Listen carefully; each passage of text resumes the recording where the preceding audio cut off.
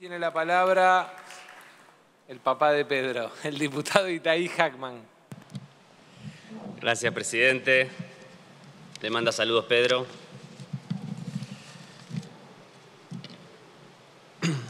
A ver, creo que hemos insistido reiterativamente en la idea de que la Argentina enfrenta una crisis que es una crisis doble. Una crisis, o mejor dicho, dos crisis superpuestas. Una que podríamos llamar una crisis predecible, producto de los desequilibrios macroeconómicos que la Argentina sufre, por lo menos con mucha fuerza desde abril de 2018, y una crisis impredecible, producto del impacto de la pandemia sanitaria.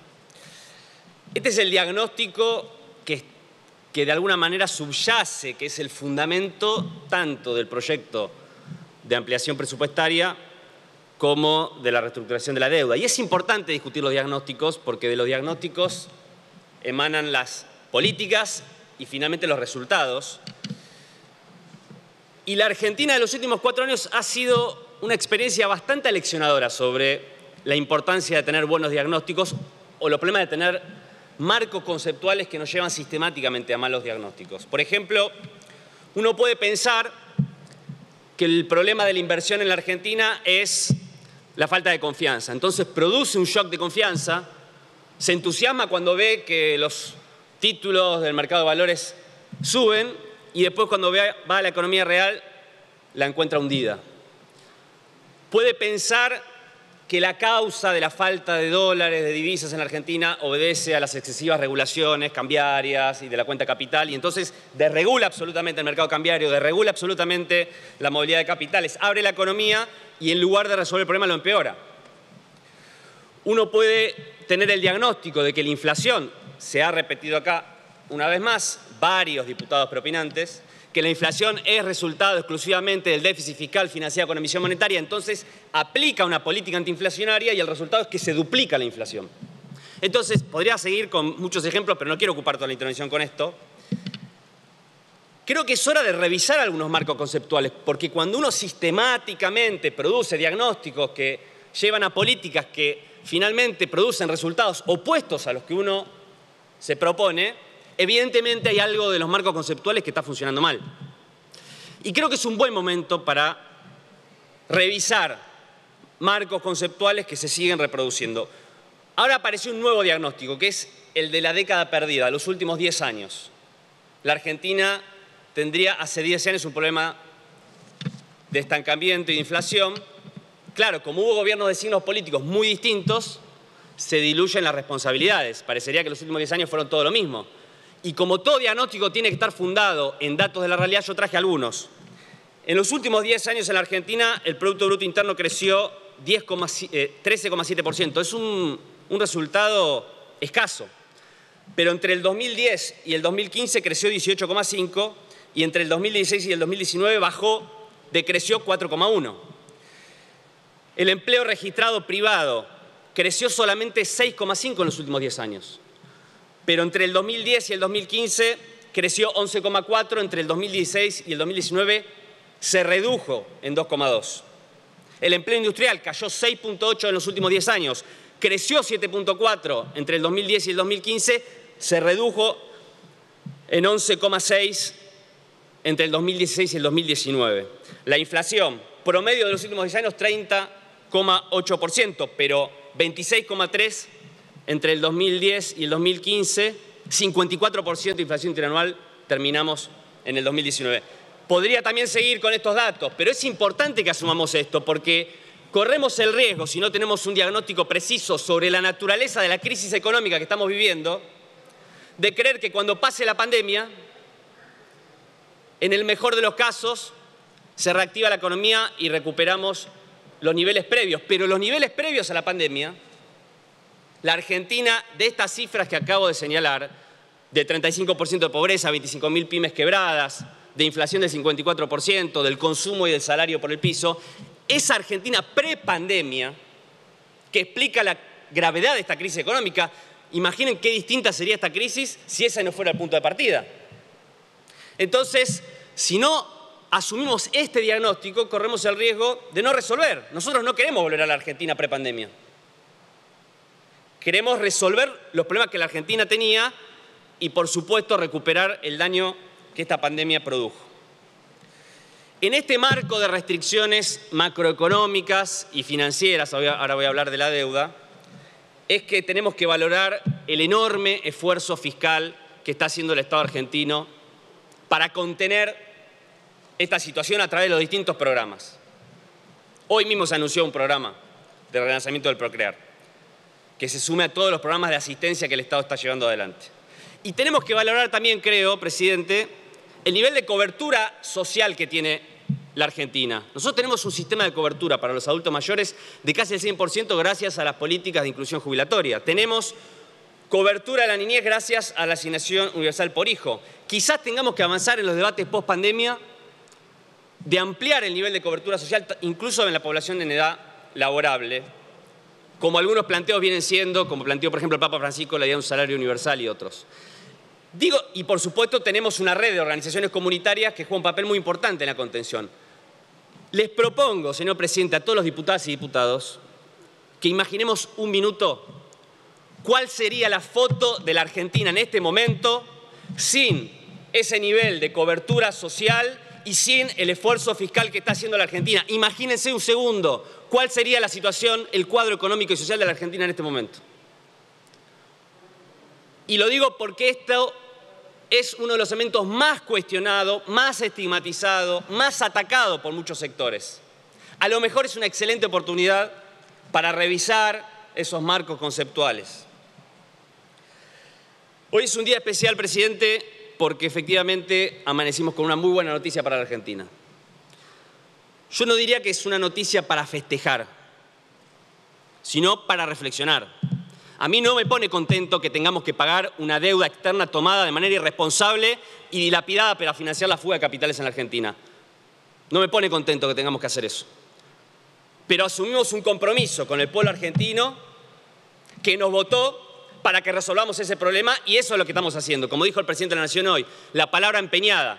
Dijimos que lo íbamos a resolver y estamos empezando a resolverlo. Pero lo que tenemos que hacer, sobre todas las cosas, es reflexionar, entender por qué nos pasó esto. ¿Por qué sucede esta crisis de deuda? Acá se ha dicho, se han dicho muchas cosas, que en realidad esto es un problema histórico, que vamos acumulando deuda, que muchos de estos bonos en realidad son bonos del 2005, 2010, entonces la responsabilidad no es del gobierno anterior. La sociedad tiene que saber que los bonos que se emitieron en la Argentina en el año 2005 y en el 2010 no ha ingresado un solo dólar a la Argentina por esos bonos, porque fueron bonos emitidos para canjear los pasivos en default del año 2001. Cuando hubo que remontar lo que hasta hace poco llamábamos el ciclo de endeudamiento más intenso de la historia argentina, el que comenzó en el 76 y llegó al default en el 2001. Ahora ya no es, porque el más intenso de la historia argentina es el de los últimos cuatro años. Eh, hay una trampa que se hace con las estadísticas de deuda que me parece importante explicar. Nosotros hablamos de la deuda que tiene un país, el stock de deuda que tiene la economía argentina. Y claro, decimos la de Argentina tiene 330 mil millones de dólares de deuda externa. Pero en realidad la Argentina no tiene una deuda externa, tiene muchas deudas. Tiene deuda en pesos, tiene deuda en dólares, tiene deuda con acreedores locales, internacionales, con organismos multilaterales, con otros organismos públicos. Entonces no se puede entender el problema de este default solamente comparando el stock de deuda 2015 con el 2019, donde efectivamente se ve que durante el gobierno anterior el stock aumentó, pero eso en sí mismo no justificaría esta crisis que estamos viviendo. El principal pecado que se cometió durante la gestión anterior no fue la magnitud del endeudamiento. La discusión sobre la deuda no es sí o no la deuda. Mucho más importante que sí o no la deuda es cómo, con quién, cuánto y para qué te endeudas. Y el principal pecado que cometió la administración anterior fue cambiar la composición de la deuda argentina. Cuando los diputados propinantes dicen dos de cada tres dólares que se tomaron fueron para financiar, pagar deuda del gobierno anterior, suponen que están exculpando al expresidente y en realidad lo están inculpando. Porque esa afirmación demuestra que emitieron dólares con acreedores privados para pagar deuda en pesos o con acreedores locales cambiaron la composición de la deuda, dolarizaron y privatizaron la cartera de acreedores de la deuda argentina. Por eso el default. por eso el default, si no, no se entiende.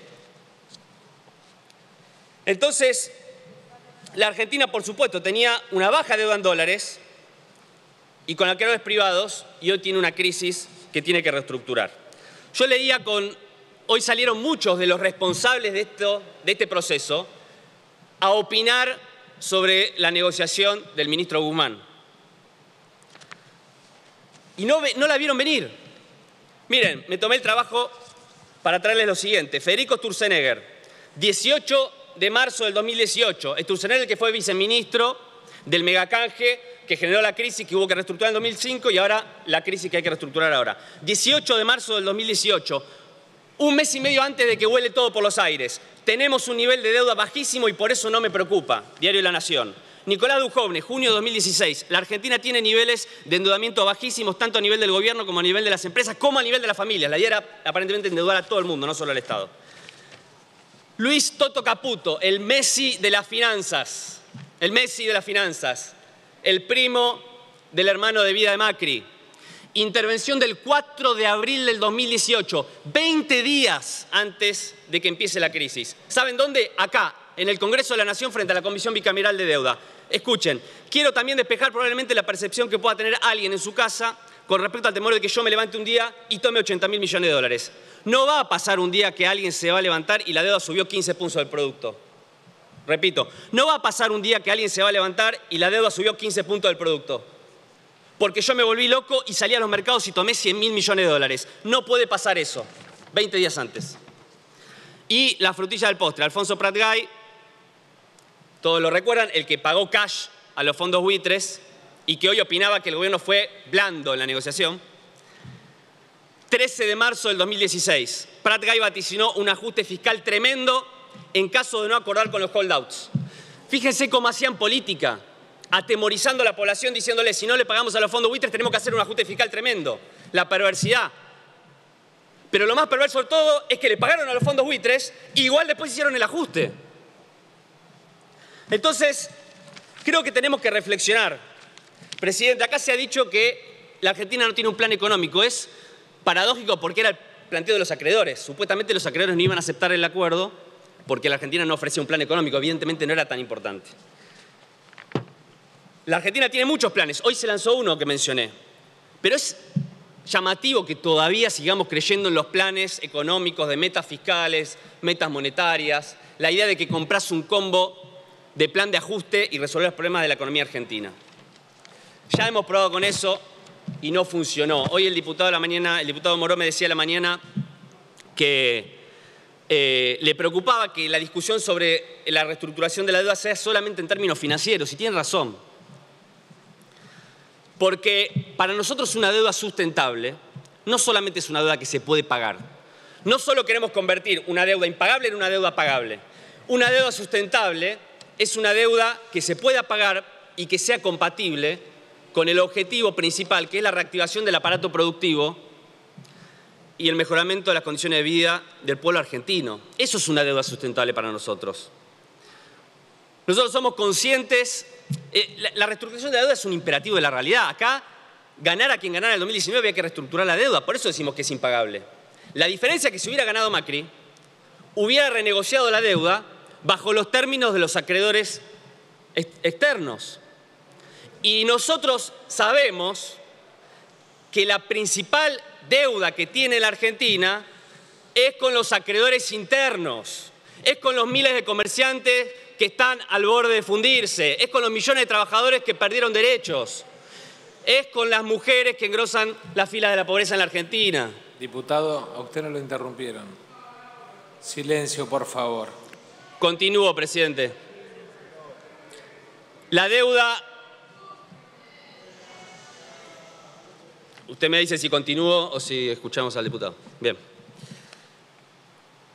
La deuda con los empresarios que apuestan al país, esa es la deuda. Hoy dimos un paso para encaminar la reestructuración y la deuda con los acreedores externos. Mañana empezamos a pagar la deuda con los acreedores internos que como decía el presidente es un imperativo no solo ético, sino una definición económica, empezar por los últimos para llegar a todos. Por eso la deuda interna también es la urbanización de los 4.416 barrios populares, el fomento de la economía popular, el poblamiento del país.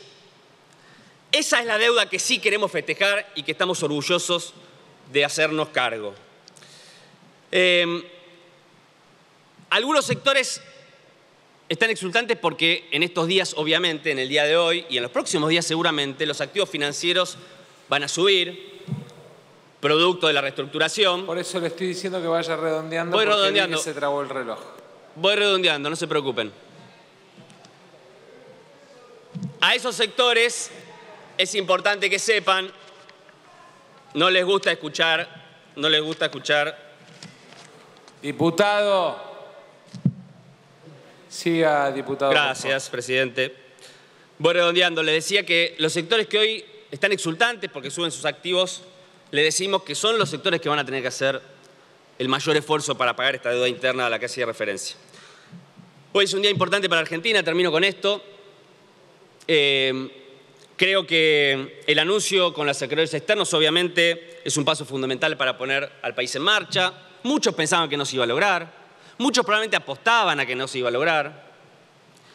Quizás muchos tenían escritos los comunicados explicando el fracaso de la negociación. Y el presidente dice que los argentinos solemos recordar más las caídas que cuando nos hemos levantado, y tiene razón. Entonces, yo quiero cerrar recordando que cada vez que nos hemos levantado ha sido porque en lugar de priorizar los intereses de los poderes que pretenden que nos arrodillemos, es porque hemos recorrido un camino que es el de defender los intereses nacionales y sobre todo el de poner por encima de toda la gente. Si recorremos ese camino, podemos equivocarnos, podemos acertar, podemos tener mejores o peores resultados, pero creo que hay una garantía que vamos a tener.